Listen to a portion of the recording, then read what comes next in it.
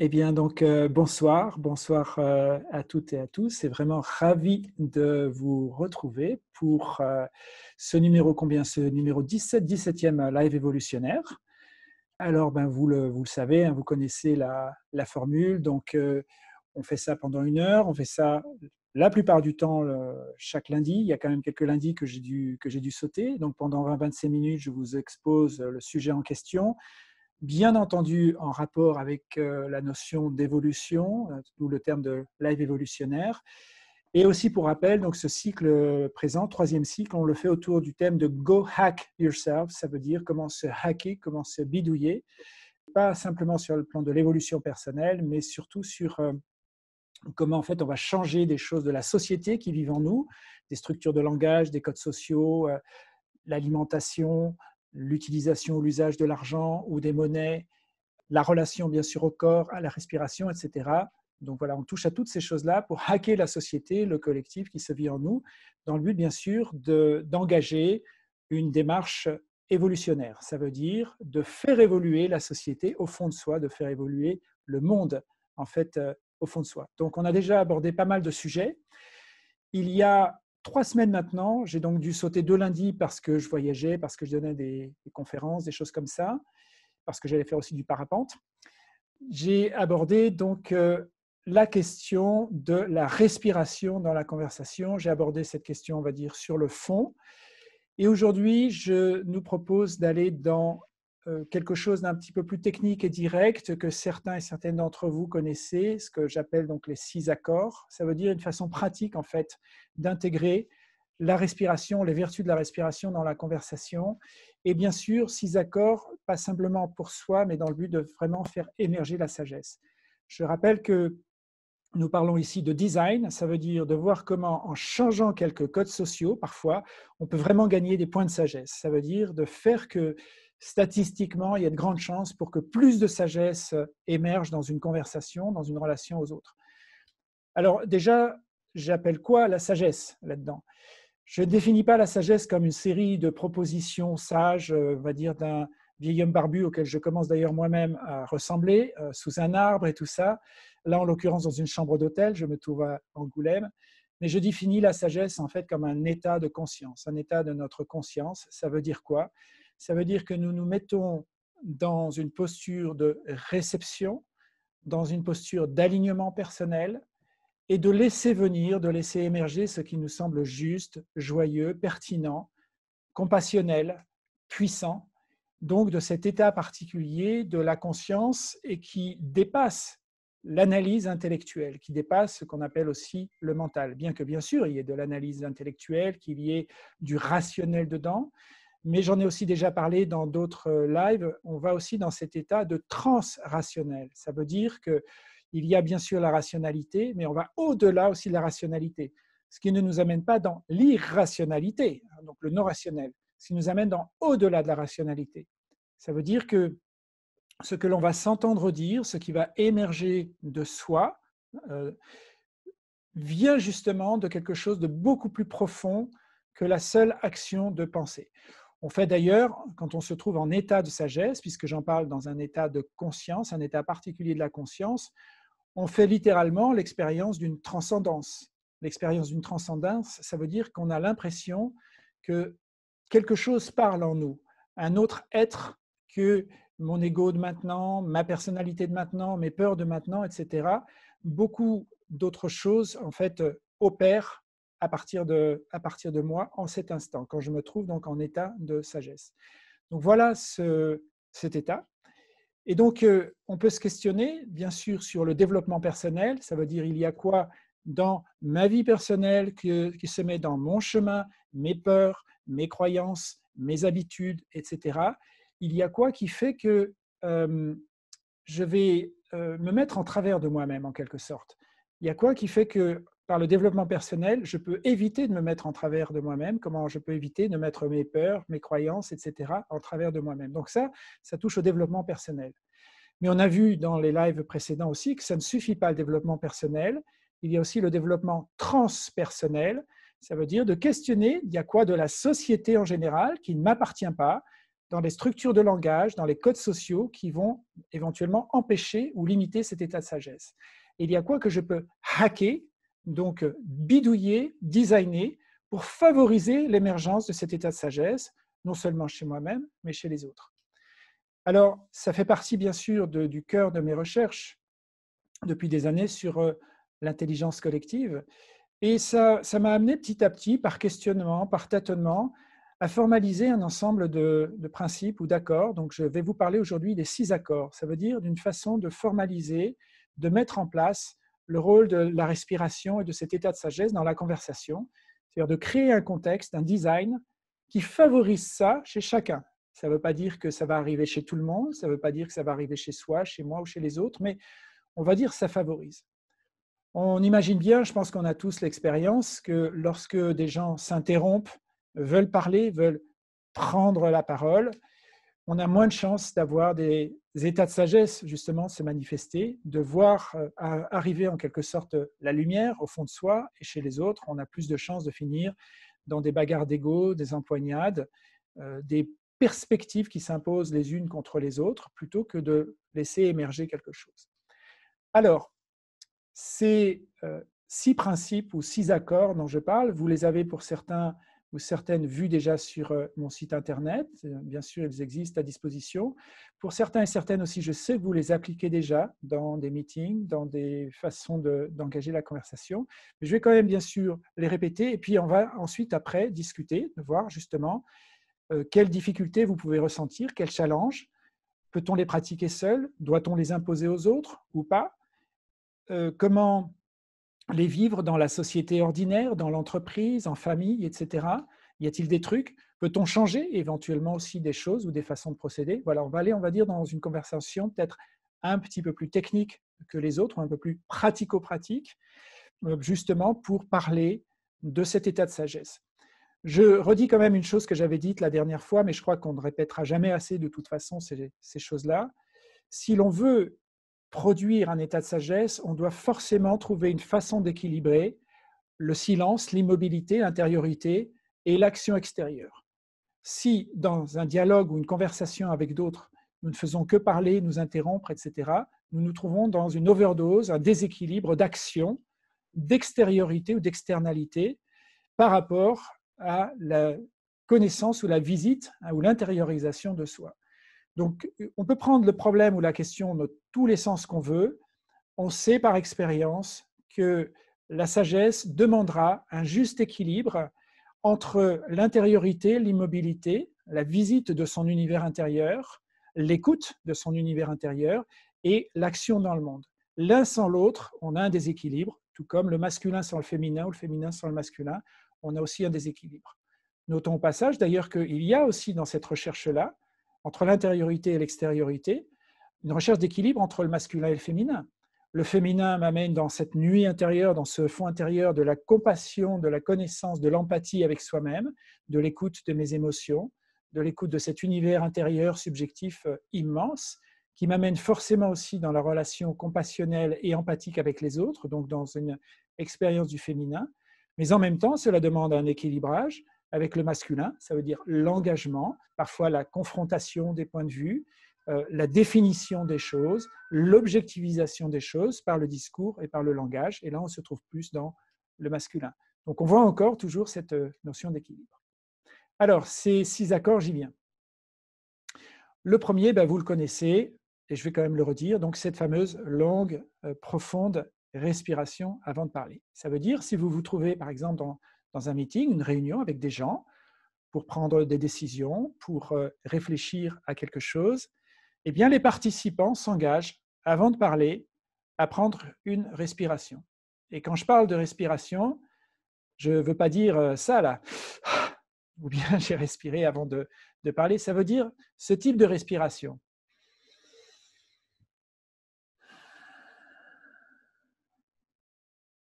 une vraie respiration physiologique, une respiration qui relaxe, une respiration qui décontracte, où je sens littéralement mes tripes se, se, décontracter, mon ventre se décontracter, mon esprit se décontracter. Il y a quelque chose d'agréable, quelque chose du lâcher-prise. D'ailleurs, dans le dernier TEDx que j'ai donné, le TEDx Alsace, que vous verrez d'ailleurs bientôt en ligne, je parle aussi de ce dernier souffle. Ça veut dire que dans cette respiration, il y a un peu rendre son souffle, laisser partir, laisser partir tout l'attachement que je peux avoir à vouloir imposer mes idées, mon point de vue, le besoin absolu que je peux avoir de m'exprimer, même s'il y a des enjeux importants, de lâcher prise sur tout ça aussi dans cette respiration. Et si une respiration ne suffit pas, eh bien en faire deux, en faire trois, peu importe. Et si les autres parlent entre-temps, ce qui arrive euh, la plupart du temps, eh bien faire confiance à la vie et se dire que le moment où on parlera représentera le moment juste, le moment où les autres attendent vraiment ça. Donc cette longue respiration, cette profonde respiration physiologique avant de prendre la parole. Voilà déjà l'accord numéro un. Et je ne peux que vous inviter à aller chercher à trouver du plaisir là-dedans. Il peut y avoir l'angoisse que les autres vont parler à sa place, qu'on ne va pas nous entendre, qu'on lâche prise sur les choses tellement intelligentes qu'on qu'on voulait dire, etc. Eh bien, on va dans cette joie intérieure de se reconnecter à son être. Voilà, quelque chose de très simple, de ce, de ce dernier souffle, aussi le, voilà, le souffle du grand départ.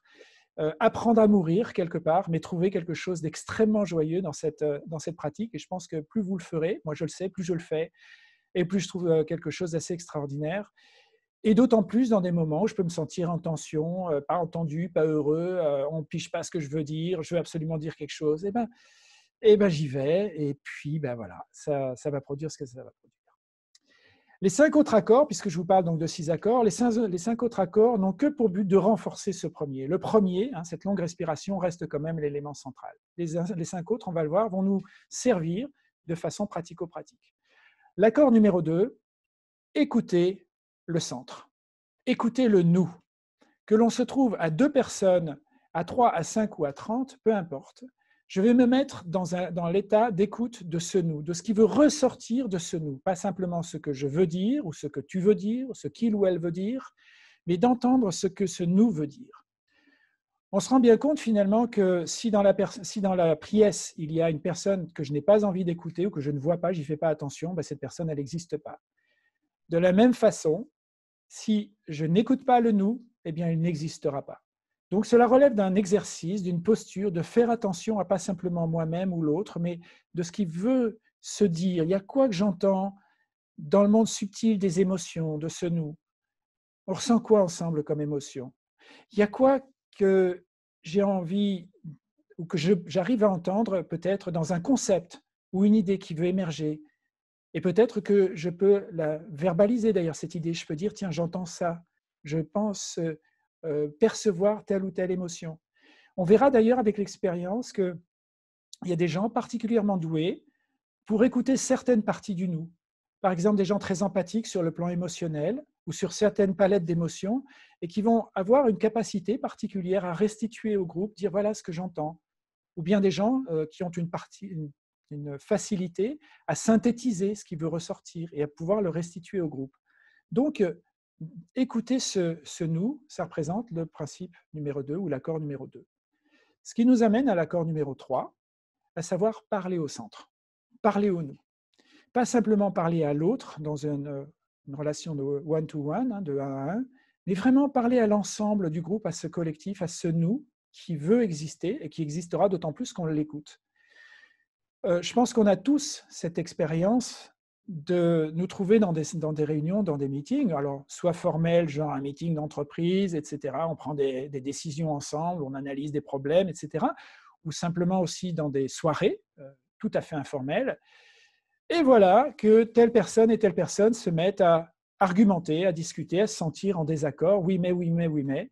Et ces personnes se renvoient la balle et perdent totalement non seulement la notion du temps, ça veut dire cette ressource tellement précieuse qu'elles prennent au groupe, mais elles perdent aussi la notion des autres. Ça veut dire elles entrent à ce moment-là dans un état égocentré, ça veut dire ce que j'ai à dire devient tellement important que je perds la notion des autres.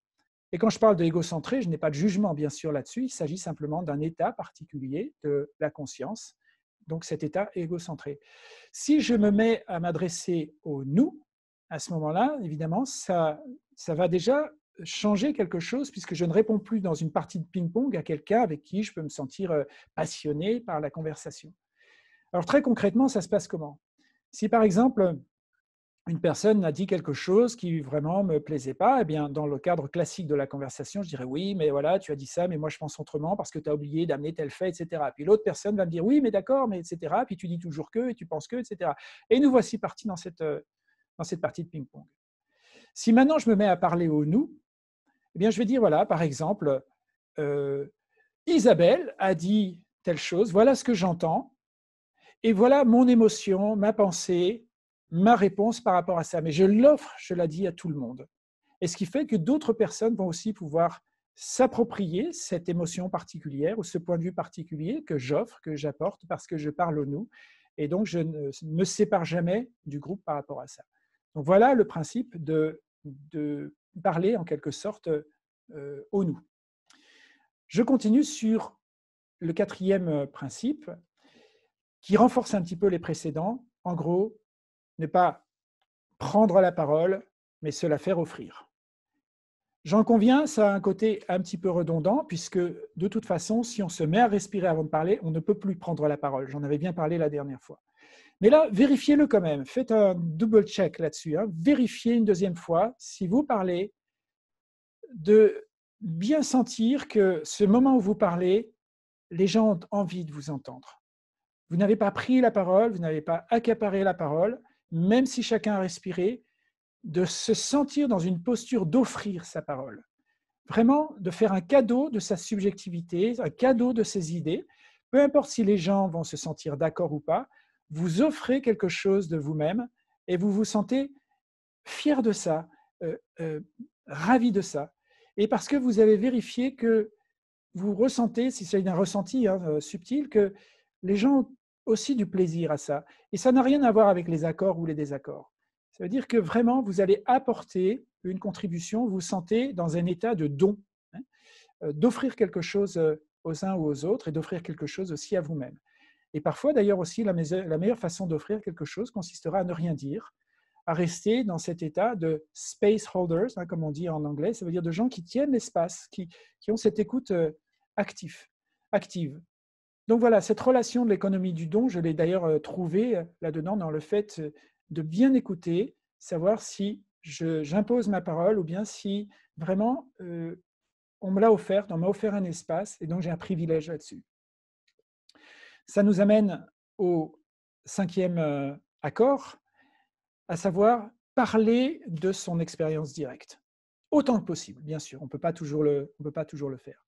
Donc plutôt que de sortir des grandes généralités sur la vie, sur le monde, sur les gens, etc., euh, plutôt que de dire, par exemple, je trouve euh, les Parisiens agressifs ou euh, je trouve les Américains comme ci, ou les femmes comme ça, ou les enfants comme ci, ou les hommes comme ça, ou toutes ces espèces de généralités, en fait, qu'on peut avoir, souvent, elles se construisent soit sur des généralités qu'on répète, on n'y a, pas, réfléchi, on répète le truc bêtement, soit parce qu'on a eu une expérience qui nous a amené à cette généralité.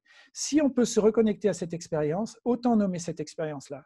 Et plutôt que de dire, par exemple, je considère, je sais pas, les, Parisiens agressifs, prenons cet exemple-là, de dire plutôt, ben voilà, j'ai vécu à Paris pendant 20 ans, j'ai vécu à tel endroit, tous les jours j'allais au travail, je trouvais euh, la circulation particulièrement agressive, d'ailleurs un jour j'ai eu un problème, etc. etc. Donc d'aller dans une structure plutôt narrative d'une expérience personnelle. Ça permet quoi? Ça permet en fait aux gens déjà, déjà à vous-même, de vous reconnecter à, la source de cette soi-disant généralité, donc de vous reconnecter à vous-même.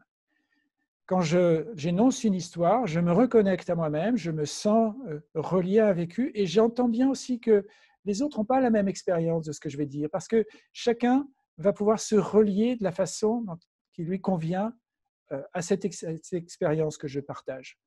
Alors que si je sors des généralités, je les impose. Mais si je raconte une histoire, je n'impose rien, je ne fais que partager un vécu, et chacun d'entre nous va pouvoir se relier de la façon qui lui convient à cette, à cette histoire-là. Donc voilà, autant que possible, on ne peut pas toujours parler d'histoire personnelle, mais si on peut, l'accord numéro 5, allons dans notre expérience directe. Accord numéro 6, chacun peut inviter le silence. Alors, de manière pratique, je suggère de prendre un petit gong, une petite cloche, des, petits, des petites cloches tibétaines, peu importe. Hein. Ou même parfois, si on n'a rien, un verre et puis une, cuillère. Hein. Quelque chose qui va faire un petit ding-ding comme ça, ou un petit ding, ou un gros gong, etc. Et à partir du moment où une personne de la réunion sonne cette petite cloche, envoie ce petit signal, la conversation s'arrête net, sur le moment. Pendant une minute, on se met à respirer, tout simplement. On va dans l'intériorité. Ça ne censure pas la conversation, ça dit simplement on la met sur pause pendant une minute. Pendant une minute, chacun fait ce qu'il veut. On peut se lever, marcher, méditer, se mettre à respirer, aller à la fenêtre, regarder le paysage, peu importe, mais chacun va à l'intérieur de soi. Ça veut dire que pendant cette minute-là, il y a X personnes autour de la table qui se mettent en connexion avec elles-mêmes, en parallèle il y a quelque chose de très puissant qu'il n'y a pas quand il y a une personne qui parle et les autres qui, simplement écoutent. Là, il y a X personnes qui, autour de, la table, autour du feu, peu importe, se mettent dans leur intériorité et vont faire appel justement à cette, fameuse intelligence transrationnelle. Certaines personnes vont réfléchir de manière rationnelle et d'autres aussi, en même temps, vont pouvoir activer cette inspiration, cette connexion empathique à soi-même, cette connexion émotionnelle aux autres, etc. Tout ce que le silence, dont j'ai beaucoup parlé la dernière fois, permet. Une fois cette minute passée, la personne qui a invité le silence, je ne dis bien pas imposer le silence ni demander le silence, elle a invité le silence, elle a fait un cadeau formidable à tout le monde, peut dire pourquoi elle a invité le silence. Parfois, au début, lorsqu'un groupe démarre sur les six accords, il y a des gens qui vont dire, ben voilà, j'ai l'impression qu'on respire plus, ça s'emballe, donc j'ai invité le silence pour qu'on puisse se recentrer. Euh, des personnes vont dire, bah, tiens, j'ai l'impression que finalement, on n'écoute plus vraiment le centre. J'avais besoin d'un temps pour moi pour écouter le centre. Donc, j'ai invité le silence. Et la conversation va reprendre. Il y a des personnes qui vont dire simplement, voilà, j'avais besoin d'un temps pour moi-même. Ce qu'on a dit avant, ça m'a bouleversé, ça m'a touché. J'avais besoin de ce temps pour moi-même. J'ai donc invité le silence pour ça. Donc, la personne qui a invité le silence peut expliquer si elle le désire. Si elle ne désire rien expliquer, elle n'a rien à justifier. Voilà, elle dit merci, et la conversation peut reprendre là où elle se trouvait. Vous verrez par expérience que la plupart du temps, la conversation va reprendre, mais sur un ton différent, sur quelque chose de différent. Les gens ont eu autour de la table le temps justement de se relier à eux-mêmes et donc d'activer beaucoup de choses, euh, d'écouter des émotions, d'aller visiter les pensées qui passent, etc. Et souvent, la conversation va reprendre sur une énergie ou un niveau différent. Parfois, elle s'emballait, elle va reprendre sur euh, un ton beaucoup plus calme. Parfois, elle va prendre une direction tout à fait différente. On s'aperçoit qu'il y avait trop de futilité ou de choses pas intéressantes. On s'emballait un peu dans quelque chose, ça prenait une direction pas si puissante que ça. Il y a beaucoup de choses qui peuvent se passer dans cette euh, minute de silence. Vous verrez aussi par expérience que euh, si vous appliquez ces six accords, souvent vous vous demanderez vous-même si vous pouvez activer le gong ou pas. Là, il y a quelque chose de très intéressant parce qu'on peut avoir l'impression parfois, lorsque euh, on se dit tiens, j'active le gong, on peut sentir un peu la personne qui va censurer la conversation, qui va, qui va punir les autres. Euh, donc le, méchant flic dans l'histoire. quoi.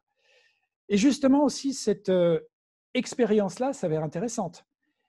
Souvent, vous verrez, dans une situation vous vous direz, mais si j'invite le silence, je ne prends pas une bonne décision. Mais si j'invite pas le silence, je ne prends pas une bonne décision non plus. ça veut dire que vous allez vous sentir un petit peu partagé là-dessus. Et justement, ça fait partie de ce côté un petit peu du fil du rasoir, de sentir à quel moment il y a quelque chose de juste pour vous ou pour les autres, soit d'inviter le silence, soit de laisser la conversation continuer. Ça favorise aussi un petit peu cette prise de recul sur l'ensemble. Ça favorise euh, aussi le fait d'écouter le nous et de parler au nous, hein, ce, sixième accord. Donc il a un côté euh, assez touchy. Voilà les six accords. Hein, donc je les répète. Le premier, inviter le, pardon, le premier, respirer avant de parler. Le deuxième, écouter le centre. Le troisième, parler au centre. Le quatrième, ne pas prendre la parole, se la faire offrir, donc bien vérifier au fond de soi. Le cinquième, parler de son expérience directe. Le sixième, chacun peut inviter le silence si il ou elle en a envie. Voilà les six accords. Ça fait longtemps que je les pratique moi-même. Euh, pas au niveau du sixième accord, je ne vais pas arriver au milieu d'un repas ou d'une salle avec un petit gong et puis, et puis faire ça. Mais les cinq premiers, oui, je les, je les pratique déjà personnellement, je les applique euh, à moi-même, où que je me trouve. pas dans les conversations sociales, on va au resto, on s'amuse, etc. Mais dès que je sens qu'une conversation, enfin quelque chose demande de faire appel un petit peu, un petit peu de sagesse et de présence, oui, je, naturellement, je, je bascule et j'applique déjà les cinq premiers accords. Et puis, bien sûr, souvent, j'invite dans des contextes d'entreprise, dans des contextes de réunion, je propose aux gens la pratique de ces six accords. Et bien sûr, j'ai vu avec l'expérience l'incroyable puissance que ça pouvait avoir, puisque évidemment, en changeant ces quelques codes sociaux, eh bien, la connexion à soi-même, la connexion à sa source peut se manifester. Et vous imaginez combien les retours, enfin ce qui va se passer pendant ces meetings, évidemment, va avoir une qualité autre que ce que l'on peut trouver. Voilà, j'arrête ici pour maintenant. Ça fait déjà quasiment 26 minutes que je, que je parle. Et nous allons passer, bien sûr, comme à chaque fois, aux questions, aux feedbacks, aux expériences, aux clarifications, tout ce qui peut donc euh, vous passer par la tête. Je vous écoute et je vous remercie. Bonjour. Oui Oui, Jérôme, salut. Salut Jérôme. Euh, j'ai une question qui me vient tout de suite, c'est euh, comment tu as pu l'explorer avec des populations, des personnes qui sont parfois toutes différentes qui peuvent encore avoir, je sais pas, des craintes avec l'autorité ou des. Et peut-être d'ailleurs, ça peut être une piste pour explorer la question que je pose, celle d'être dans la réaction, c'est-à-dire d'avoir encore des, des raisons d'être rebelle en fait face à des propositions comme ça. Et est-ce que tu as réussi à le déployer finalement dans, des tas et des tas de situations différentes? Un peu, l'idée, c'est est-ce que c'est accessible un peu à n'importe qui? Voilà, c'est la question.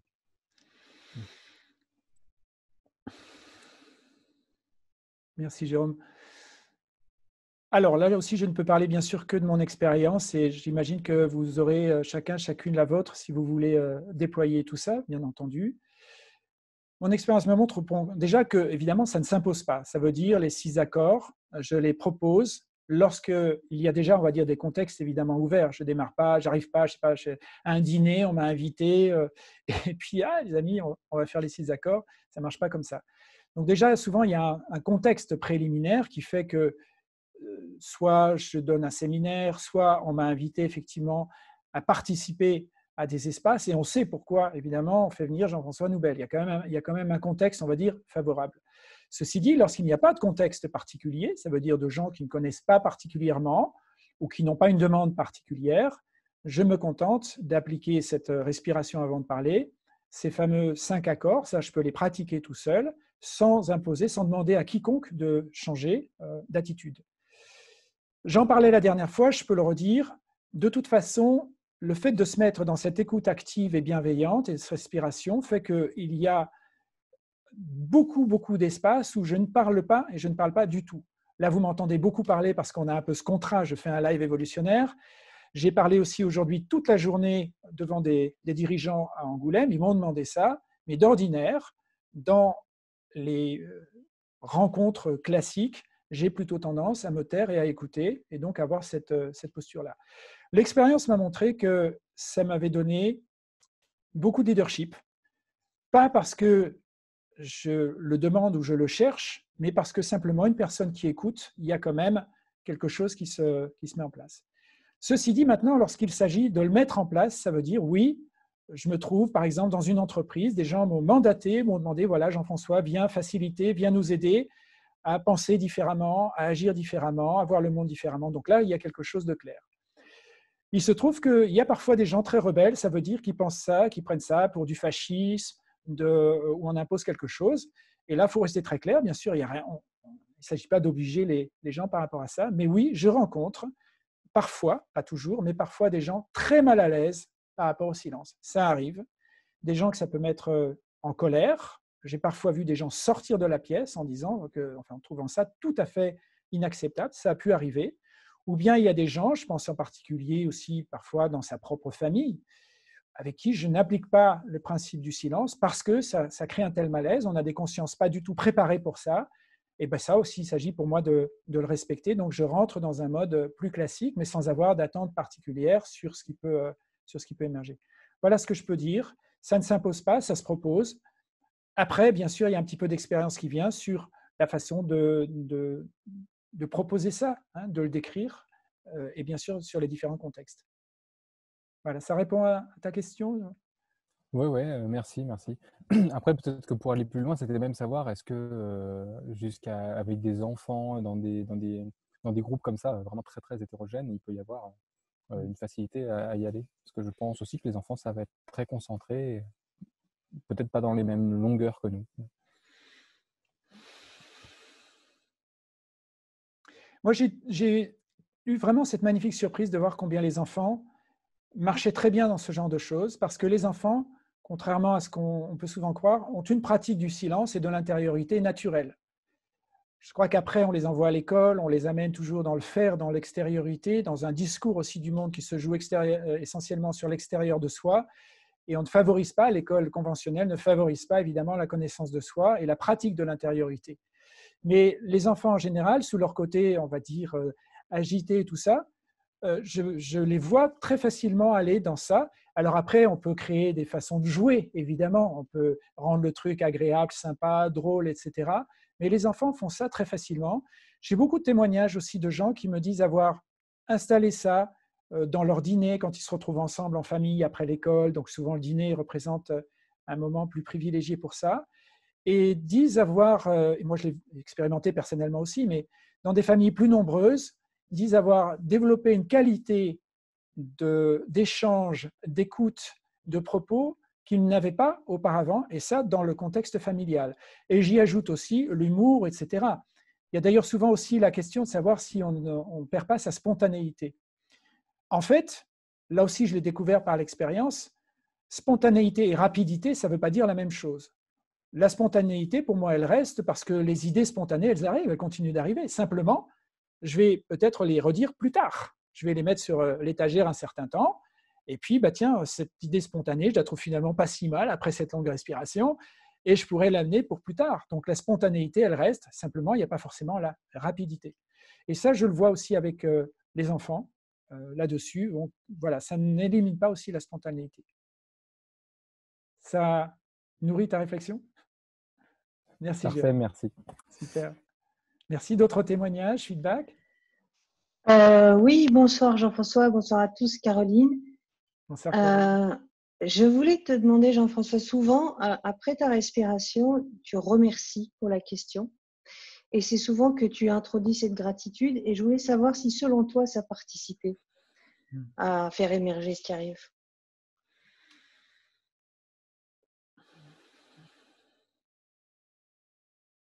tu vois, je, te remercie de le dire.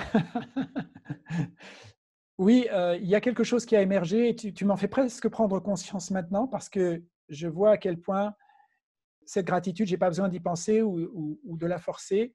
À force de, de, respirer, ça a une fonction quasiment physiologique de respirer à l'intérieur le propos de l'autre. Notons d'ailleurs que quand quelqu'un nous dit quelque chose de désagréable, il y a un blocage de la respiration. On a vraiment donc, des processus très anciens de défense, hein, donc de défense physiologique, comme si euh, un tigre allait nous sauter dessus ou nous, attaquer. Donc on a une défense physiologique de contraction, de contraction des viscères, de contraction du ventre, du cou, enfin voilà, quelque chose donc de reptilien, de très ancien. Et j'ai vu par l'expérience que donc me mettre à respirer avant de parler faisait que je respirais aussi la parole de l'autre. Ça veut dire je laisse entrer en moi le psychisme de l'autre. Même si quelque chose me déplaît, je vais parfois me forcer à ça, parce que parfois j'entends des choses pas agréables ou pas bienveillantes, euh, ou qui peuvent me heurter. Euh, je me sens pas bien vis-à-vis de ça. Et donc, je, le respire à l'intérieur de, de moi. Et à force, ça m'a mis effectivement dans cette expérience de gratitude de voir que finalement, chaque chose représente une contribution, y compris ce qui peut me déplaire, y compris ce qui va en sens inverse complet de mes convictions les plus, les plus profondes. Ça va m'offrir toujours une opportunité, même si je me sens en profond désaccord. Par exemple, pas plus tard qu'aujourd'hui, j'avais une vingtaine de dirigeants d'entreprise. La plupart du temps, euh, je demande à ce qu'on ait un déjeuner vegan pas pour imposer le véganisme aux gens, bien entendu, ça ne marche pas, mais pour partager une expérience, ils me demandent de venir, donc je viens dans ma congruence et je propose qu'on ait un déjeuner vegan. Bon, j'ai bien entendu, euh, comme à chaque fois, entendu des opinions de d'auto comment dire, de, de, de, s'auto-convaincre du système qu'on a. Donc, il y, avait, il y avait de la part de gens pas du tout une écoute de demander des questions ouvertes, de dire Jean-François, pourquoi tu fais ci ou ça? Je ne demande pas de tomber d'accord avec moi, mais simplement d'ouvrir leur esprit. Et en fait, la plupart du temps, j'avais des gens qui finalement le, confrontaient ça par rapport à leur système de, référence. Bon, évidemment, il y a des choses où je me sens assez naturellement euh, pas attaqué parce que j'ai dépassé ça depuis longtemps, mais on est de lassitude. Je veux dire, les remarques, les, lieux communs que j'entends, les mêmes vannes que j'entends à chaque fois, elles reviennent à chaque fois. Et donc, je peux naturellement me sentir en état de lassitude. Mais cette respiration fait qu'effectivement, je vais intégrer à l'intérieur ce que j'entends et vraiment, il y a une, une gratitude qui vient. Et donc, j'ai naturellement, pas du tout artificiellement, mais naturellement envie de, envie d'exprimer, même si j'ai quelque chose qui peut me heurter face à moi. Je peux même avoir de la gratitude pour la colère que ça peut déclencher parfois, parce que, bah ouais, tiens, j'ai un truc à aller explorer au fond de moi. Quel cadeau. Voilà comment ça se passe. Merci. Avec plaisir, Caroline. Bonsoir, Jean-François. Bonsoir, Nicolas. Bonsoir à tous. Euh, une petite question un peu triviale. Euh, sans que tu sois animateur, t'es-tu euh, déjà mis dans un rôle donc de, jouer les accords sans l'avoir au préalable annoncé et que, que finalement on ne t'offre pas la parole? Et comment euh, tu t'es senti? Est-ce que ça t'a fait évoluer sur le chemin?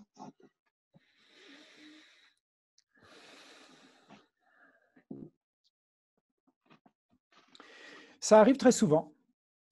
Ça arrive très souvent que je ne parle pas, ou bien que ce que je veux dire, la parole que j'aurais éventuellement donnée dans un moment, euh, une soirée, euh, quelque chose d'informel, ou même aussi des moments où on invite Jean-François Noubel parce qu'il a une expertise à apporter, etc. Et au bout du compte, j'ai rien dit, ou, ou, très peu. Ça arrive, et ça arrive même assez souvent.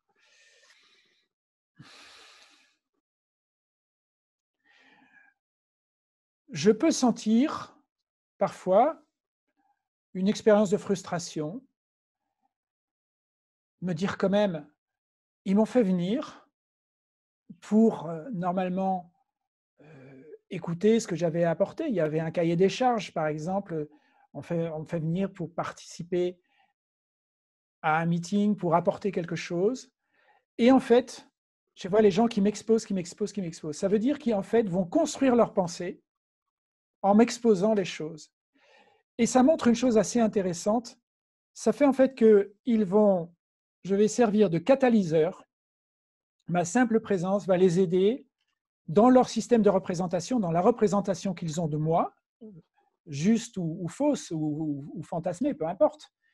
Mais ils vont construire quelque chose par ma simple présence. Et là, on rentre vraiment dans cette notion aussi de l'écoute active, et de, tenir l'espace, d'offrir l'espace euh, aux gens et aussi cette bienveillance. Il y a aussi, je le précise, au-delà de la parole, donc de, la parole verbale, tout ce langage non verbal, de la posture, de l'ouverture du regard, de la pleine présence, de comment euh, on s'assoit, de comment on se tient, de comment on regarde les gens. Il n'y a évidemment pas la même chose si je me trouve euh, planqué derrière mon téléphone en train de faire d'autres choses, ou bien si j'ai des trucs genre je, m'emmerde, etc. Et on peut communiquer tellement de choses, mais même de façon très subtile. Et nous avons tout l'équipement sensoriel pour percevoir des choses extrêmement subtiles dans une posture, dans le souffle de quelqu'un, etc. Donc je considère aussi que ces choses-là, ma, bienveillance, mon écoute active, disent autant de choses que si je parlais donc euh, verbalement. Et que si j'ai des frustrations, des choses comme ça, elles m'appartiennent. Je peux éventuellement les exprimer si on me les demande. Parfois, je peux repartir pas très content. Ça fait partie du truc. Et puis, ça ne constitue pas la fin, du, la fin du monde. Mais voilà, ça arrive quand même assez souvent que je me retrouve effectivement dans des contextes où je n'ai rien dit, soit parfois des contextes où on m'a vraiment invité, on voulait Jean-François dans le, dans le truc, et puis aussi bah, des contextes euh, sociaux où bon, bah, les gens parlent entre eux, Souvent, on me pose une question, je commence ma respiration, boum, quelqu'un a répondu euh, à ma place, voire souvent la personne qui a posé la question, et il n'y a vraiment pas de souci. Donc oui, ça arrive très très souvent. Merci à toi. Merci Nicolas. Bonjour à tous. Bonsoir. Euh, enchanté de faire euh, connaissance. Il y a une chose importante que je trouve dans cette, ces six accords, hein, c'est de se recentrer sur le nous. Mm-hmm.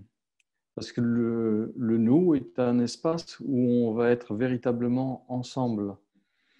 Un espace où il y aura moins de confrontation et peut-être même plus de confrontation selon la manière dont on accueille les, les autres autour de nous. Et je, ça me semble important parce que même cette posture que l'on prend peut apaiser les échanges qu'il y a dans le groupe autour de nous. Donc voilà, je voulais juste témoigner de cela.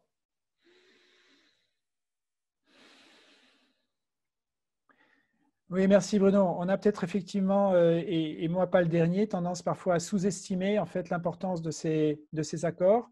Or, en fait, de facto, ils invitent le témoin. Ça veut dire si je regarde le nous, je ne regarde plus simplement mon petit nombril euh, à moi, j'active quelque chose qui regarde la situation d'ensemble, qui essaye d'écouter cette situation d'ensemble, donc d'écouter le nous et de, et de, parler au nous. Donc oui, je crois que ça, ça restera toujours un work in progress en bon français ça veut dire de développer cette, euh, cette faculté d'entendre le nous. Et ça commence à deux personnes. Ça commence aussi, euh, quand je dis deux personnes, donc souvent dans le couple aussi, d'écouter ce qui a envie de se dire. Et parfois, notamment dans les moments difficiles du couple. Dieu sait si justement le fait de vivre dans une relation amoureuse, couple ou autre chose, d'ailleurs, la relation amoureuse ne se situe pas nécessairement dans une configuration de couple, mais en tout cas, dans la relation amoureuse, on va mettre tellement la partie vulnérable de notre être les ombres aussi, les parties euh, pas forcément bien fichues de soi-même qui vont arriver au milieu de la relation, euh, et la sienne et celle de l'autre. Donc, euh, évidemment, ça les révèle. Quand on vit seul, on peut les laisser de côté, toutes ces choses-là, on ne les voit pas, elles ne s'activent pas. Mais quand on vit dans cette intimité avec l'autre ou les autres, mon Dieu, comment ça révèle nos zones d'ombre, nos failles, nos peurs, nos peines, nos chagrins, la, blessure fondamentale et fondatrice de notre être, enfin toutes ces, toutes ces choses-là. Et donc, plus que jamais dans ces moments, effectivement, l'écoute du nous. Il se passe quoi entre nous? Il y a quoi de karmique? Il y a quoi qui veut émerger? Il y a quoi qui veut se dire? Quel, quel cadeau! Ça, me fait penser d'ailleurs, enfin ça m'amène à cette chose-là par, euh, par association d'idées. J'ai cette expérience personnelle que souvent des gens me, peuvent penser que je résiste ou je ne veux pas entendre des critiques ou des choses comme ça parce que je vais questionner justement euh, ce que l'on peut, peut, dire. En fait, ma démarche derrière consiste exactement à aller dans, dans ce nous. Ça veut dire qu'il y a X subjectivité qui s'exprime, donc d'un point de vue subjectif, mais il y a quand même quelque chose qui forcément va devoir émerger du nous. Et ce questionnement euh, maïotique d'accouchement, ce, ce questionnement socratique que je fais, relève beaucoup moins d'une résistance à ce qu'on veut éventuellement me dire ou me faire comprendre, ou ce qu'il veut se dire, que d'une recherche du nous. Et je crois que si, vous faites, si on fait euh, en général cette recherche-là, ça peut avoir aussi parfois cette difficulté euh, de se faire prendre par les autres pour quelqu'un qui résiste à quelque chose, alors que la démarche qu'on a, sincère, qui n'exclut pas aussi des résistances personnelles, attention, hein, je ne dis pas que j'en ai pas ou qu'il n'y en a pas, mais souvent il peut y avoir aussi beaucoup plus justement cette recherche de l'écoute euh, du nous derrière, qui peut ressembler à de la résistance, alors qu'il y a vraiment une volonté socratique de faire accoucher quelque chose par ce, par nous, en particulier souvent dans, la relation intime. Je ne sais pas si ça te parle aussi ou si ça parle à certains et certaines d'entre nous. Bonsoir à tous, Olivier. Bonsoir. Euh, je ne sais pas si on me voit, je n'ai pas beaucoup de bandes passantes. Je peut-être. Euh, voilà, merci beaucoup pour euh, tous ces éléments. J'associe, j'en profite pour associer sur ce qui vient d'être échangé là, et notamment cette dimension du nous. Et je voulais faire préciser quelque chose sur cette relation entre le nous et le je. Oui je m'explique. Mmh, j'ai de temps en temps, moi, dans, ce type de situation euh, évoquée là, euh, il y a quelque chose qui peut m'aider, moi, de temps en temps, c'est euh, de m'interroger sur les intentionnalités réelles quand je prends la parole, quand j'argumente, quand je choisis le registre de discours sur lequel je vais le placer, etc. Et voilà, cette dimension d'essayer de décoder l'intentionnalité réelle, euh, j'ai l'impression qu'elle m'apporte quelque chose. Euh, mais comment, comment euh, ça se situe autour de ce qui vient d'être dit? Est-ce que c'est un autre plan? Est-ce que ça n'a rien à voir? Voilà, comment on peut articuler tous ces éléments?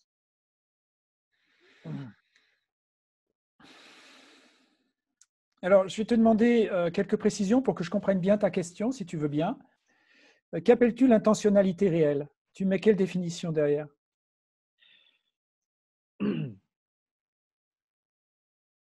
Je mets comme définition d'essayer de, très honnêtement euh, définir l'intentionnalité qui peut être, par exemple, une valorisation narcissique, qui peut être euh, le résultat, le sentiment d'être euh, mise en défaut, en danger sur un argument et la volonté de reprendre la main sur un autre, enfin tous les arguments rhétoriques ou tous les registres rhétoriques qu'on peut utiliser, par exemple, qui seraient des intentionnalités.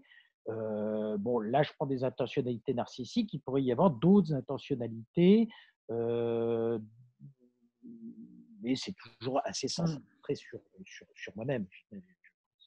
D'accord. Merci, ça m'aide à, beaucoup mieux comprendre ta question. Euh, et, merci pour la, pour la, question. Gratitude encore, mais vraiment sincère parce que je la trouve, euh, je la trouve essentielle.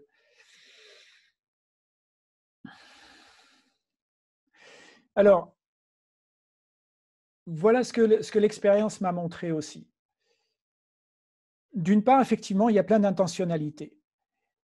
Et je trouve important de ne pas les juger, ces, ces, intentionnalités. Par exemple, si je vois au fond de moi, ou si je ressens les autres une intention narcissique, ben voilà, il y a une intention narcissique, elle se trouve là, elle fait partie du paysage. Il y a déjà quelque chose de l'ordre de l'accueil du principe de réalité. Ça veut dire oui, s'il y a du narcissique, ou s'il y a des choses comme euh, de la doxa, ça veut dire euh, des choses finalement qu'on répète parce que tout le monde le dit, sans avoir euh, vérifié. J'ai eu cette expérience aujourd'hui. Ça veut dire des gens qui m'ont expliqué des tas de choses, mais je savais très bien que ces choses qu'ils m'expliquaient, ils, ne font que répéter. Ils n'ont jamais pris le temps d'y réfléchir. Je ne peux pas leur en vouloir. Moi, ça fait 20 ans que je réfléchis sur la question du, véganisme, par exemple. Donc, je ne dis pas que j'ai raison ou tort, mais j'ai quand même des années de réflexion à apporter dessus. Et j'ai entendu aujourd'hui des gens qui avaient plus besoin de se rassurer de s'auto-conforter sur leur euh, état d'esprit sur la question plutôt que d'entrer dans un questionnement ou d'apporter des choses euh, mûrement réfléchies. Encore une fois, peu importe que je me sente d'accord ou pas, d'accord avec elle. Je parle de la posture. Bon, donc il y avait effectivement euh, des intentions dans, cette, dans ces conversations d'apporter quelque chose qui nous conforte et de se sentir plus en sécurité par ça, d'une réaffirmation de soi, de ses certitudes, que d'ouvrir un véritable dialogue. Bon, ben, ça fait partie du paysage. J'identifiais ça. J'ai pu identifier aussi euh, à des moments, euh, des moments de lassitude, de me dire, bon, à quel moment y aura-t-il des questions vraiment ouvertes ou des questions qui vont vraiment me questionner moi, des choses qui... Voilà. Donc il y a plein d'intentionnalités comme ça qui se, qui, se, qui se produisent. Alors, d'une part, l'accueil de ce qui existe sans jugement, y compris des choses égotiques, y compris des choses répétées, de la doxa, du lieu commun, des choses qui viennent de la peur, etc., ça fait partie de nos êtres et il s'agit de l'accueillir pleinement dans la phénoménologie de l'être. Et pour ça, la respiration, justement, pour moi, le permet. Ça veut dire que elle va m'offrir ce temps pour explorer l'immense tableau de bord de mon être. Et si je peux le faire pour mon être, je pourrais bien entendu le faire d'autant mieux pour les autres. Je ne peux pas faire, je ne peux pas comprendre ou lire chez les autres ce que je ne sais pas lire ou voir chez moi. Ça, ça reste une règle d'or, évidemment. Donc, euh, cette respiration va m'amener au niveau du témoin, justement, ce niveau de cette conscience, et va aussi m'amener dans cet état dit transrationnel. Il y a plusieurs mots qui peuvent exister pour ça. J'aime bien ce, terme-là, pré-rationnel, rationnel, transrationnel. Vous savez, j'ai fait un, un live évolutionnaire là-dessus que vous pouvez regarder de nouveau, bien sûr. Mais donc, cette respiration m'offre le temps du témoin. Donc, euh, d'explorer mes émotions, d'explorer peut-être les parties égotiques qui veulent venir de moi ou qui peuvent jaillir des autres, d'explorer ce qui peut venir de lieux communs, d'écouter ce qui veut, qui vient d'une expérience de transcendance, ce qui a envie de se dire là dans cet état de sagesse, et on va voir toutes ces voix un petit peu là arriver dans la pièce comme ça. Et là, il n'y a pas forcément quelque chose d'analytique qui se produit, il y a cette pleine présence à cet ensemble de voix, et à les écouter dans une sorte d'état d'amour, y compris les trucs les plus égotiques, les plus gamins qu'on puisse avoir, les plus peureux, les plus lâches et tout ce qu'on veut. voilà, et ne pas les juger justement d'accueillir ça, d'accueillir toute cette foule d'êtres, finalement, d'entités, de paroles qui existent en nous, qui existent chez les autres. Et cette respiration permet cet état, effectivement, de bienveillance, de non-jugement, et d'activer cette intelligence transrationnelle, parce qu'on écoute finalement une myriade de signaux faibles, une foultitude de signaux faibles. Et on laisse activer cette intelligence non analytique qui fait qu'on peut se surprendre à entendre ou s'entendre dire, chez soi ou chez d'autres, des choses incroyablement puissantes et incroyablement sages. Ou parfois rien du tout, parce qu'il n'y a que le silence qui va nous servir dans tout ça, il n'y a rien d'autre. Ça ne viendra pas de l'ordre d'une parole, ça viendra de l'ordre d'une présence. Et là aussi, cette présence, elle compte euh, énormément. Voilà ce que, ce que je peux dire par rapport à ce que tu, à ce que tu mentionnais. Je ne sais pas si ça nourrit ta réflexion, si tu as d'autres choses à apporter là-dessus. Euh, je te remercie, c'est très clair. Ça, ça, oui, oui, ça, ça, ça, éclaircit euh, le point. Je comprends bien que tout ce que, si, si j'ai bien compris, ton sujet ce soir, c'était vraiment de, se, de s'assurer une pleine conscience dans un moment d'échange ce qui est en dehors d'une ce que tu appelles la rationalité ou l'analyse ou l'analytique, qui peuvent se faire dans un autre moment. On ne peut pas tout faire en même temps. Et là, j'ai bien compris. Si, si, si j'ai compris, c'est quelque chose comme ça. Est-ce que c'est clair? Je vais dire, euh, alors je vais le dire avec mes mots. Je ne peux pas dire en dehors de la rationalité, je vais dire en plus de la rationalité. Hein. Quand je parle du transrationnel, ça transcende et ça inclut le rationnel. Parce qu'on a toujours besoin de la rationalité. Dans rationalité, il y a ratio, il y a raison. Ça veut dire donc d'utiliser la raison. Il ne s'agit pas de devenir irrationnel. Il s'agit d'écouter la raison, mais également d'aller dans cet au-delà. Ça veut dire ce que la pensée analytique ne peut plus faire. J'aime beaucoup, d'ailleurs, euh, j'ai souvent commencé, je commence souvent des, conférences par cette très belle maxime que j'adore, qui dit L'arbre qui tombe fait plus de bruit que la forêt qui pousse. L'arbre qui tombe, justement, nous parle des signaux forts, hein, des choses qu'on entend, qui vont nous faire sursauter, qu'on regarde. Si on écoute les nouvelles aussi, ce qu'on appelle les nouvelles, elles ne font que nous parler des arbres qui tombent, ça veut dire des signaux forts. Nous n'avons pas de structure narrative, nous les humains, pour parler de la forêt qui pousse. Ça veut dire entre tous ces événements qui séquencent notre vie, ces, événements forts, il y a dans ce silence, dans les interstices, des milliards de choses qui se passent. Si je veux voir la forêt qui pousse, je dois aller dans cette forêt, je dois m'y installer littéralement méditer.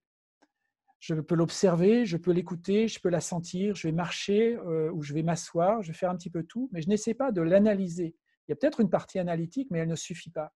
Il y a quelque chose qui, à un moment donné, qui relève de l'ordre d'une expérience littéralement de transcendance ou d'une autre forme d'intelligence que l'intelligence analytique, qui un jour, à un moment, va peut-être me faire m'amener dans cette expérience du Waouh, il y a une forêt qui pousse là autour. Il y a toujours les arbres qui tombent, mais il y a aussi une forêt qui pousse.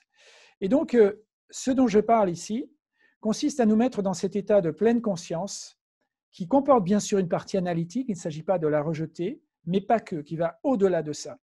Et de me questionner non pas simplement sur une pratique personnelle, mais sur une pratique transpersonnelle. Ça veut dire comment pouvons-nous ensemble, pas simplement soi individuellement, mais ensemble, créer des structures et des infrastructures sociétales qui font émerger de la sagesse, qui font émerger des richesses plus grandes, des richesses de l'expérience de vie plus grande, qui font émerger de la créativité, qui font émerger de l'empathie et de la compassion. Donc là, on parle vraiment, on revient à ce dont vous m'entendrez toujours parler, un peu un des fils communs du design pour de l'émergence.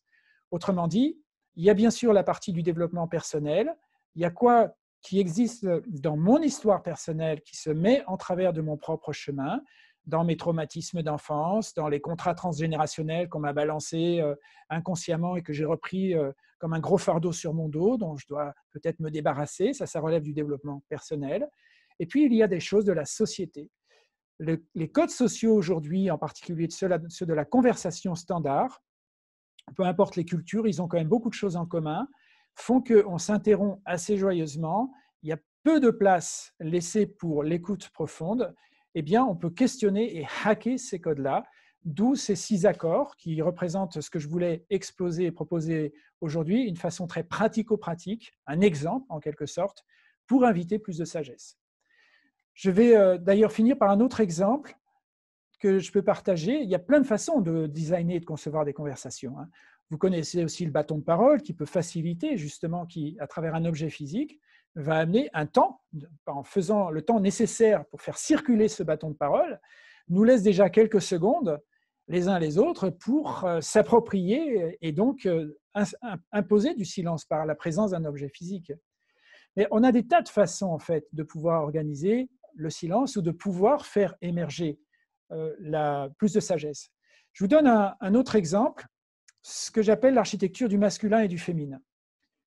On a tous plus ou moins, peu importe que nous existions en tant qu'hommes ou femmes, nous avons plus ou moins de masculin ou plus ou moins de féminin dans notre constitution initiale. On a vu, et j'en ai déjà parlé dans des lives évolutionnaires, combien, enfin l'importance d'aller chercher la polarité qui nous manque. Ça veut dire si en tant qu'être humain je nais avec plus de masculin, je progresserai en allant chercher, en développant la partie de mon féminin. Et vice-versa, si j'ai plus de féminin, eh bien d'aller développer la partie du masculin au fond de moi-même. Donc on a tous une invitation à aller chercher la partie polarisée qui nous manque. Il y a des tas de façons de le faire. Déjà par euh, la relation amoureuse, on peut trouver souvent un conjoint ou une conjointe ou des partenaires qui ont ces polarités qui nous manquent et qui vont nous aider à les comprendre, parfois par la friction, par des moments euh, pas faciles. Maintenant, lorsqu'on se trouve dans des collectifs, euh, vous l'observerez, je l'observe en tout cas, qu'il y a des gens qui vont plus s'exprimer dans leur féminin ou plus s'exprimer dans leur masculin. Pour caricaturer un petit peu, une personne dans son masculin, s'il faut réfléchir à un problème, cette personne va aller dans sa grotte, va rester en silence, il faut lui foutre la paix, elle va réfléchir et boum, elle arrive avec une conclusion. Boum, plié, ça va vite, euh, on a ça, ça prend pas de temps. Et puis il y a des gens, lorsqu'on leur demande de réfléchir à quelque chose, ils vont parler, parler, parler, parler, amener une logorée comme ça, parce qu'en fait, ils ont besoin, leur, leur pensée ne peut que se construire dans la relation aux autres. Et là, on a des gens dans le féminin ça veut dire dans l'écoute active de l'autre, dans l'acquiescement de l'autre, dans le retour de l'autre. Ça se construit par la relation empathique, par euh, justement l'expérience relationnelle à l'autre. Il y a deux façons comme ça, une façon un peu masculine de construire une pensée, une façon un peu féminine de construire une pensée. Il n'y en a pas une meilleure que l'autre, il y a des modes opératoires. Eh bien, par exemple, j'ai vu par l'expérience qu'on peut favoriser les deux dans un, dans un meeting. Donc, euh, on pose une question, on a un sujet à réfléchir une décision à prendre eh bien, je vais dire aux gens, voilà, déjà chacun, pendant cinq minutes, on se met en silence, on va au fond de sa grotte. Là, on active le masculin. Chacun va au fond de lui-même, réfléchit, active, etc. Et il y a des gens qui vont vraiment euh, naturellement se sentir très bien là-dedans, aller dans leur puissance intérieure. Et puis ensuite, on fait une autre phase. Maintenant, pendant cinq minutes, chacun va parler à l'autre. Donc, euh, on se met par, euh, par deux. Et puis, la personne A, pendant cinq minutes, parle à la personne B. Et ensuite, pendant cinq minutes, la personne B parle à la personne A sur le sujet comme ça, par une écoute active. Et là, les gens plus dans le féminin vont avoir plus de facilité à déployer leur pensée. Eh bien, ce masculin-féminin, ces deux modes opératoires permettent de gagner énormément de temps déjà, parce que ça, ça fait que lorsqu'on arrive au temps de la restitution, les gens dans le masculin ont pu y aller et puis euh, se faire titiller sur leur féminin, donc ils n'ont pas trop l'habitude. Et les gens dans le féminin ont pu vraiment déployer leur pensée et quand même aller chercher un petit peu leur masculin. Et on a un retour assez incroyable. Vous voyez, là, je vous parle aussi d'une autre façon de designer, de, challenger les codes sociaux, puisqu'on fait d'autres codes sociaux pas habituels, mais qui ont aussi la vertu d'inviter plus de sagesse parce qu'on a fait du design social. Donc, je vous donnais voilà, cet autre exemple, et ceci peut-être en, conclusion euh, pour ce soir, de se dire l'extraordinaire liberté qu'on a de faire du design pour de l'émergence. Dans la conversation, de changer les codes sociaux, de dire lesquels ne marchent plus et nous desservent, pour les finalités qu'on peut avoir. Si on devait faire du brainstorming, par exemple, peut-être qu'effectivement, s'interrompre joyeusement, ça fait partie du truc. Allons-y. Par contre, s'il s'agit de faire émerger de la sagesse, ah, là, il y a peut-être d'autres designs à faire.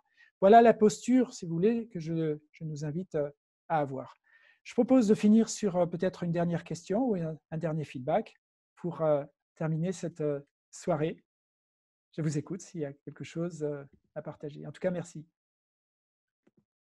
Oui, moi je veux bien. Bonsoir Jean-François. Bonsoir Christelle.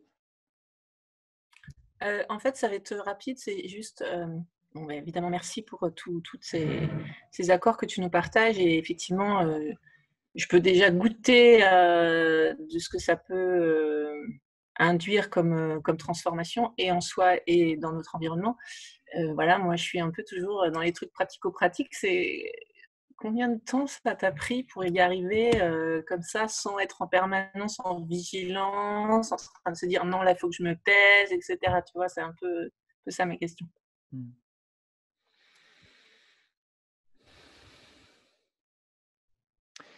J'ai du mal à te répondre parce que il n'y a pas un point A et un point B, il y a, un, progrès permanent. Moi, après toutes ces années, je continue de voir quasiment chaque jour les marges de progrès que j'ai pu faire, les petits pas incrémentaux ou bien les marges de progrès qui me, qui me restent à faire. Donc, euh, ça fait comme tous les arts, comme la musique, la danse, etc., les arts martiaux, on n'a jamais fini. Cependant, il y a quand même un mot-clé euh, qui me semble important, la discipline. Ça veut dire comme dans tout art, tout ce qui va générer de la liberté, ça vient au départ d'une discipline. Par exemple, si je veux apprendre à faire de la musique, je sais pas, du piano, je vais imposer à mes mains des gestes absolument pas naturels, que mes mains n'ont pas l'habitude de faire. Et pendant un moment, je vais faire des trucs très artificiels. Pareil, si je veux apprendre le tango, je vais faire des, des gestes, mais vraiment pas naturels, qu'on ne m'a pas appris. Mais à force de les répéter, je vais les intégrer donc, c'est les mouvements de doigts ou bien les gestes du tango ou des gestes d'arts martiaux, peu importe. Et ça va générer de la liberté. Ça veut dire que paradoxalement, au début, je m'impose une contrainte, je diminue ma liberté, mais je l'intègre, je me donne le temps de l'intégration et après, ça va générer de la liberté jusqu'à une mmh. certaine limite. Parce qu'attention, on peut aussi devenir très académique et s'emprisonner dans des pratiques. Donc, il faut aussi toujours les questionner et parfois aussi les abandonner le moment où elles se mettent à nous desservir. On voit aussi hein, que la discipline peut devenir une prison, une répétition académique de quelque chose qui, euh, devient tout à fait inefficace ou contre-productif. Donc voilà en tout cas pour moi le, mot-clé là-dessus. Je l'ai fait pour euh, plein d'autres choses euh, dont j'aurai l'occasion évidemment de parler ou dont j'ai déjà parlé, mais ça commence par l'application stricte d'une discipline pour se donner le temps de voir s'il y a vraiment une intégration qui se fait et si elle génère cette, euh, une fois intégrée, on n'y pense plus, elle devient naturelle et ça génère de la, de la liberté. Alors combien de temps? Écoute, euh, je trouve que ça fait partie des pratiques les plus difficiles que je connaisse euh, aujourd'hui, se mettre à respirer avant de parler. Ce, cette simple chose, parfois je dis ironiquement qu'on a plus de facilité à s'immoler par le feu que de, se mettre à, réfléchir, à, respirer avant de parler, je crois que ça relève de quelque chose de très difficile parce que ça vient nous toucher dans notre vital, cette, euh, urgence impérieuse qu'on a de, donner son point de vue, de donner son opinion, et, pour de très bonnes raisons, je ne dis pas qu'il y a de mauvaises raisons à ça, mais d'exister finalement au fond des autres. Il y a quelque chose peut-être de l'ordre d'une expérience de la mort, de sentir une mort euh, euh, fantasmer ou, fausse, mais de, croire en tout cas qu'on va mourir parce qu'on ne parle plus, parce que les autres ne nous demandent plus de parler. Il y a une sorte d'effacement. Mais ça, ça relève en fait d'une peur qui ne, qui ne s'avère pas vraie. L'expérience vous démontrera que, au contraire, il se passe complètement autre chose, parce que ça invite la puissance de l'être. Et là où il y a un être puissant, eh bien, les miracles se, se produisent. Peut-être pas forcément dans ce meeting-là, dans cette réunion-là, avec ces gens-là, mais il y a une alchimie qui va se produire déjà au fond de soi, qu'on va peut-être amener dans une autre rencontre, ou quelque chose plus tard qui va se produire, qui ne pouvait pas se produire à ce moment-là dans cette réunion. Là, on entre aussi dans l'expérience non plus de la causalité, mais dans l'expérience de la synchronicité. Ça génère de la synchronicité aussi. Et ça, faut pratiquer, pratiquer, pratiquer. Donc, je ne peux qu'avec tout mon cœur inviter chacun, chacune, euh, par expérience, à, cette, à se tenir à ces disciplines-là, tenir ferme, peut-être se coacher mutuellement les uns les autres pour se donner du, courage, mais vraiment y aller, tenir, tenir, tenir. Voilà. Merci Christelle. Merci Jean-François.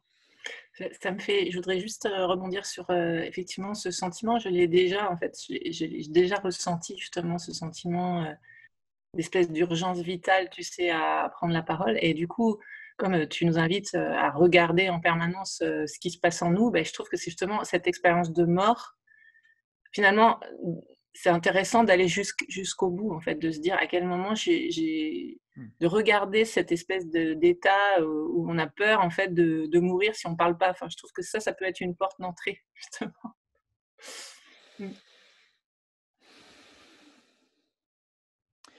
Voilà, ça, ça, nous amène dans des abysses, ça nous amène face à, à l'expérience abyssale de l'être. Pourquoi on a tellement peur du silence Pourquoi aussi finalement les espaces publics on entendra toujours une musique de fond, il faut des restos bruyants, enfin, il y a besoin de meubler. On parle aussi de silence gêné, on dit un ange passa, enfin, voilà combien effectivement, culturellement, on nous apprend la peur du silence parce que effectivement, ça nous confronte euh, à l'immensité abyssale de l'être, se retrouver seul en silence. D'ailleurs, Pascal le disait très bien, je ne vais pas reprendre ces, mots exactement, mais il disait les plus grands mots de l'humanité euh, se trouvent dans le fait qu'on ne peut pas passer un temps seul, allongé dans une chambre. Ça veut dire, dans, en fait, cet état de méditation, hein, cet état de, silence euh, absolu, euh, parce que ben voilà, on se trouve confronté à soi-même, à cet espace absolument abyssal, et l'éducation nous apprend à ne pas le connaître, ça, à avoir une méconnaissance de ça. Et ça, j'aurai aussi bien sûr l'occasion de, parler du pourquoi de ces choses-là. Je propose de, de conclure aujourd'hui. Merci. merci beaucoup. merci on va continuer. Juste pour finir, donc, euh, bon, mais voilà, on va se retrouver non pas la semaine prochaine parce que euh, je donne en fait une, euh, conférence aussi la semaine prochaine qui se fera en ligne, mais ça, vous aurez l'information dans la newsletter, donc vous pourrez bien sûr y venir et y participer. Mais je vous propose de nous retrouver dans 15 jours pour parler des prisons ontologiques. Vous savez, le langage structure notre réalité, donc euh, l'ontologie, justement, comment nous nous représentons l'expérience de l'être, et voir comment, justement, le langage peut nous enfermer, dans, euh, nous priver de liberté. Hein. On va commencer à explorer ce sujet-là, et on va beaucoup parler du, langage. Donc, merci de m'avoir écouté. Vous savez qu'il y aura un replay sur euh, YouTube. Je fais un petit montage. N'hésitez pas à y poster aussi vos commentaires, vos feedbacks. Vous pouvez vous abonner bien sûr euh, à la chaîne, je ne peux que vous y, encourager. Vous pouvez rejoindre le groupe Facebook euh, Les Humanonautes, où justement on continue un petit peu ces échanges. Vous pouvez apporter vos compétences. Et puis, vous le savez, j'ai choisi il y a longtemps de vivre dans l'économie du don. Donc, si vous voulez participer à mon aventure, vous pouvez faire des dons de toute nature en allant sur ma page euh, noubel.com slash don. Et donc, je vous donne rendez-vous lundi dans 15 jours à 19h. Je vous souhaite une très belle fin de soirée. Je vous remercie et je vous aime très très fort. Merci beaucoup Jean-François, merci. Merci. Bye bye. Merci. Au revoir, merci. Au revoir Jean-François. Au revoir, merci. Merci beaucoup. Au revoir, merci.